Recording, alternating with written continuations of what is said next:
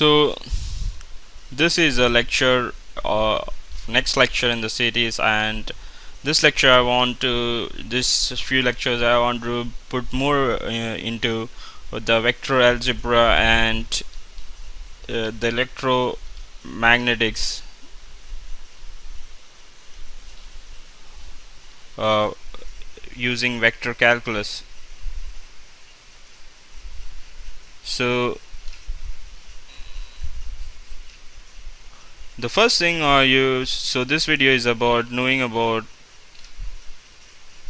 the position vectors. So we'll learn about the position vectors and then I will demonstrate about the distance vectors. And this is taking into consideration the Cartesian coordinate system so first you need to first we have already covered a lot of things about this. So if you are taking a Cartesian coordinate system it's possible to represent any point in space using the Cartesian coordinate system. So suppose I have three coordinates x y and z. So my point in space is p which I want to represent and that point can be given by 1 4 8 so when I'm writing this way this is my x this is my y and this is my z. So I'm starting from a point known as origin which is 0 0 0 and it's possible to represent any point in space. Suppose my point is 1 4 8 so my x is 1 1 here and my y is 4 here. So when I'm joining both these what I'm getting is a plane xy and my z suppose my z is 8 and when I am projecting this upward and I'm joining this with what is my z I'm getting a point xyz which is 1 4 8 in this case. And if I'm joining this with the origin so if I call this point P and then whatever I'm getting here it's possible to represent the position of the point P in space. So such kind of a vector usually written by OP is known as a position vector. So to write about a position vector I can write it in vector form using Cartesian coordinate system like xax plus yay plus zaz and if I am writing for this I will substitute the x with 1 so it will become 1ax plus 4ay plus 8az so this is what is known as my position vector. So again if I am having another point q suppose I have a point q which is q is equal to 2 6 and 12 so this is 2 this is somewhere here 6 so this is where it's getting the xy and if I'm going more up this is my 12 so what am, am I getting here? This is just for taking into this is not approx to scale but just to show. So this is my q vector so if I'm joining this with the origin whatever I could get is could be my this is my peak this is my OQ vector. And if I'm writing it in the same terms it will be something like 2 ax plus 6 ay plus 12 az so if I want to find a vector which is the distance vector which is the distance between two vectors. So such kind of vectors is known as a distance vector. So if I want to find the distance between P and Q then I can write a vector RPQ which is a distance between P and Q and it's from from P to Q. So this vector is from P to Q and it's is giving its distance here so so this vector if I'm from P to Q if I'm taking it then it is a distance vector. So I will just draw reduce this which is not according to scale and I will just show it in a simpler way how this is possible. So considering the case, same case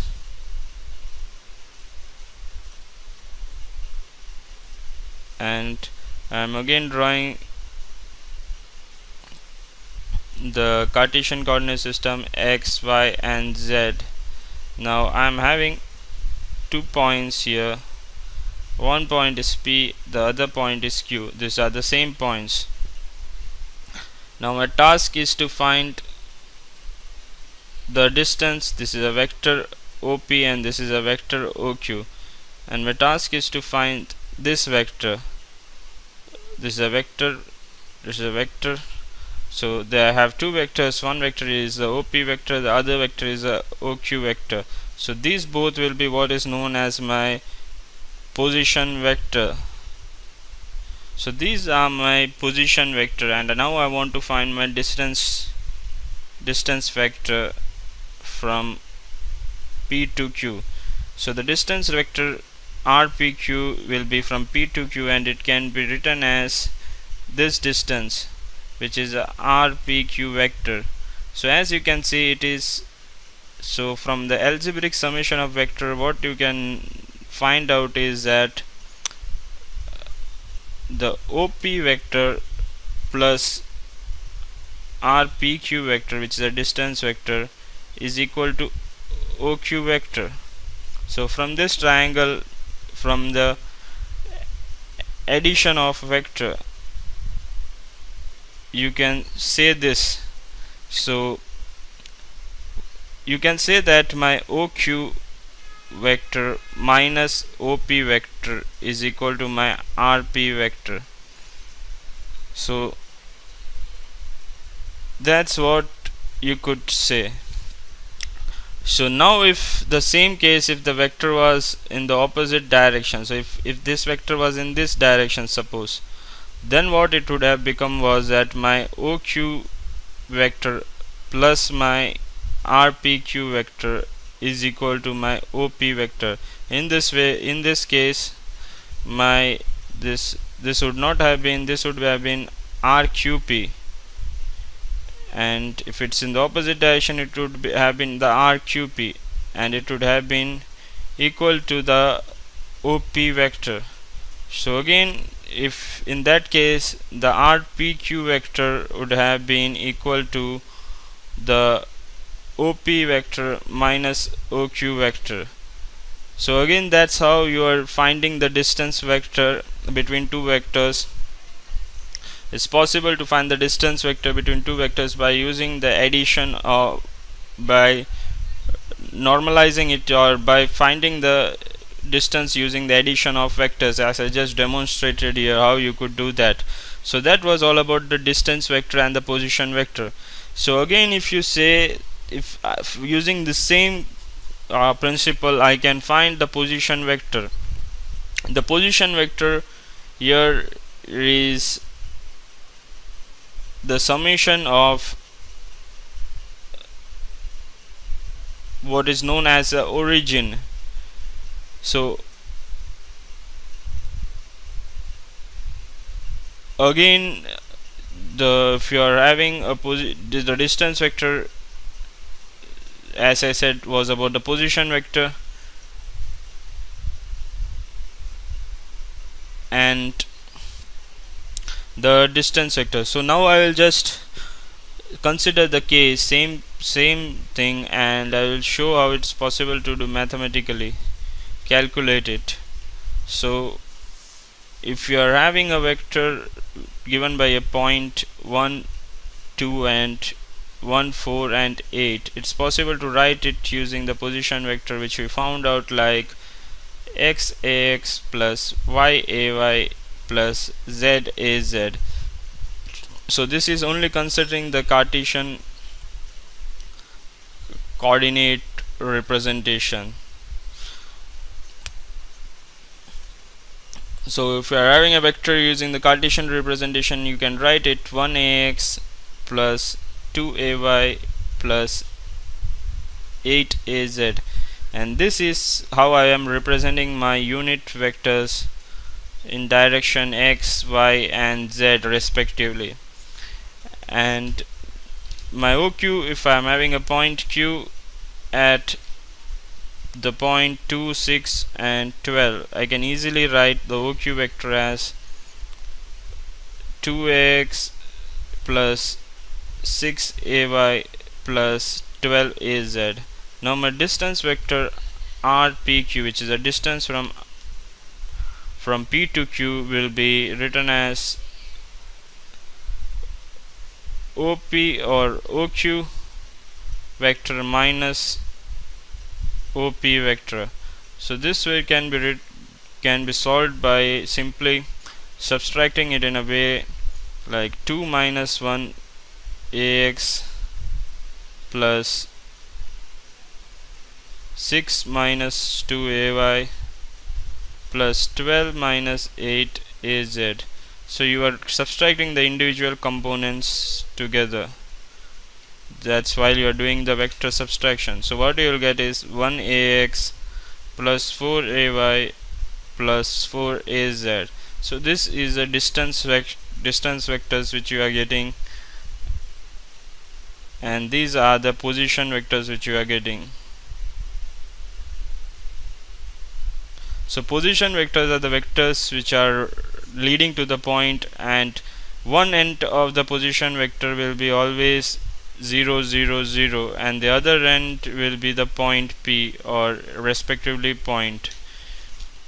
The distance vector will be the distance between two, two points.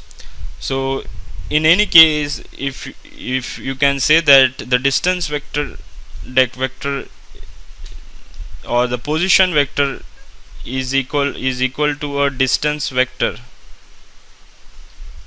with one end as origin. So why you can say that if you are having a vector which is a 0 0 0 vector then you'll you'll have to write it as 0 x or the vector at the origin oo dash you can write as 0 x plus 0 ay plus 0 az and this is the o dash vector. And now when I'm having a position when I'm having this vector and if I want to if if my other vector is this and if this vector I am substituting by the position vector o dash then what I will be getting is a distance vector which is equal to the position vector. And this will become r RQO in this case ROQ in this case that is from origin to Q and which is equal to the position vector. So if my one end is the origin then my distance vector will become my position vector which can be easily shown here. So this is for the Cartesian coordinate system